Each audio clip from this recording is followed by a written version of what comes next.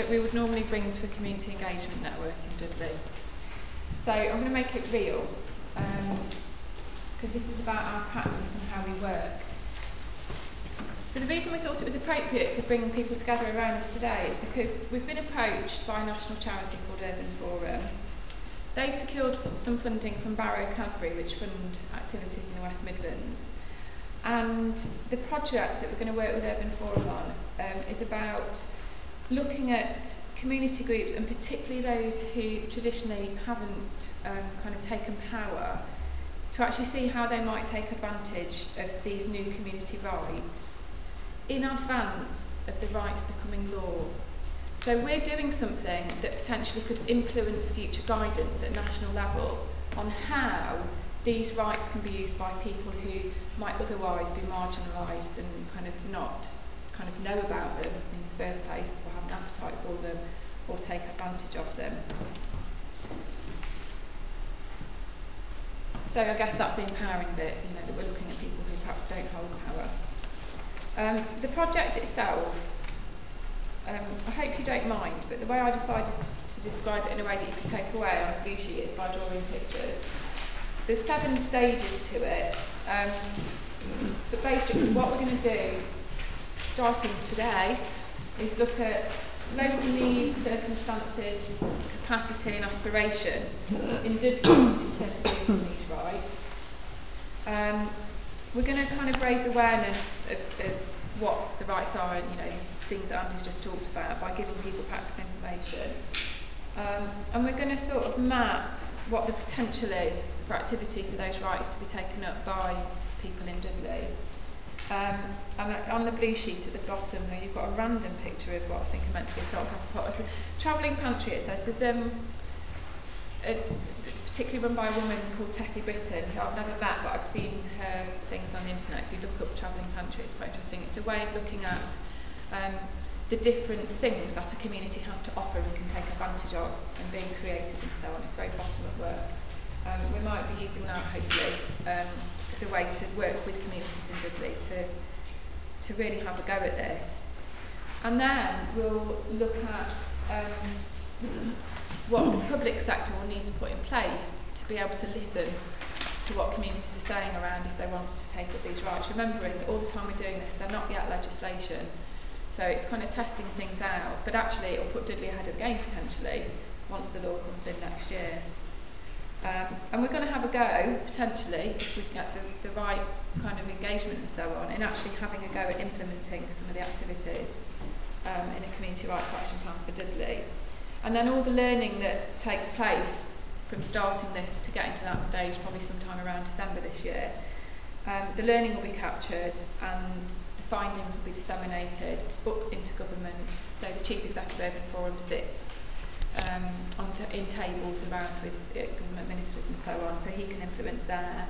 And Urban Forum will take out what they learn from Dudley and travel around the country with that to help other people to learn from what we've done and take things up. So massive opportunity for Dudley around this new agenda. Again, let me bring this back to you.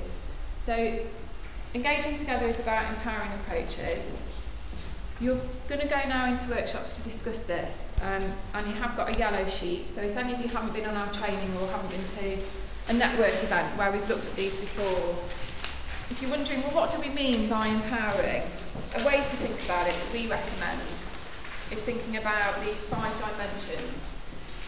So if we're working in an empowering way, we're working in a way that increases people's skills, knowledge and confidence, so we have confident communities. We'd also be working in a way that actually recognises discrimination exists, um, challenges inequality, and promotes equality of opportunity and good relations between groups. So we're working with, we want inclusive communities. Working in empowering ways means helping people to come together around common issues in ways that are open, transparent and accountable. So it's about having organised communities. And we know we've got lots of community organisations in Dudley that we can work with around that. We want cooperation, um, building positive relationships across groups, which I'm sure you are all advocates of because you've come here to network and, and meet each other and so on. Um, so that's about as well our communities being able to do that, and as well as linking across ways to each other, linking up in terms of national links that have them. And we want influential communities, so we want to encourage and equip communities to take part and influence decisions and services and activities that take place. So you've got that for reference in the workshop. Um, we've got, it's, it's entirely up to you how long you take, but if you want till half 12 or a bit longer in the workshops, I have to say, the first thing we're going to ask you to do is fill in a survey, to which I apologise. I feel like this day has been heavy a bit on uh, PowerPoint and surveys, but it, it, it will really help us to get going with the project. You may feel like, do you know what, I don't know anything about all this. Just tell us that. That in itself is helpful to us, okay? It's not a judgment on you or your knowledge, it, it's to help us to start to map what, what knowledge base we're we starting from in Dudley. Um, so you're going to go into your back into the groups that you were in before. First thing you'll do is just have a bit of quiet time to, to fill in this survey. If you wouldn't mind, I'd really appreciate it. It'll help the project. And then we'll have discussions around this. Is it worth saying that um, we're asking people to complete the survey with the knowledge that they had before they came this yeah, morning? Yeah, that's really helpful. So the survey isn't a test of what you just heard Andy say. It's not, we're not going to mark you. Um, if you treat it as if you had been given it when you came in the door, what do you know about community rights?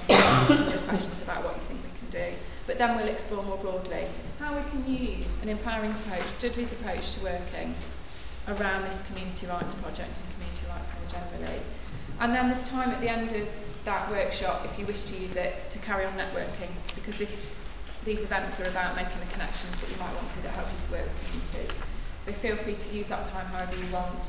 If you want to be introduced to people, come and ask me and I'll try and, find people. I think I know most people. So, so all right. So thank you very much for listening to us. Sorry it's been rather a lot of talking from our side today.